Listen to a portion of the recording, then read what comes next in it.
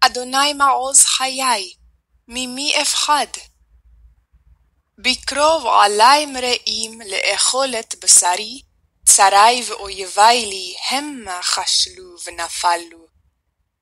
אם תחנה עלי מחנה, לא יירא ליבי. אם תקום עלי מלחמה, בזאת אני בוטח.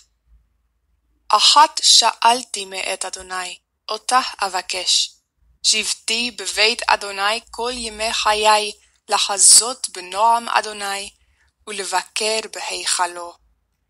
כי יצפנני בסוכו, ביום רעה, יסתירני בסתר אכולו, בצור ירוממני.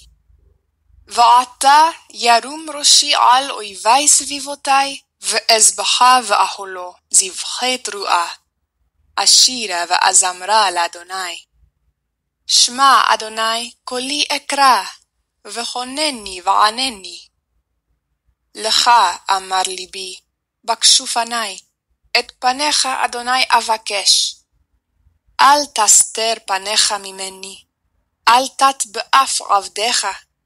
עזרתי היית, אל תתשני, ואל תעזבני, אלוהי ישעי. כי אבי ואמי עזבוני, ואדוני יאספני.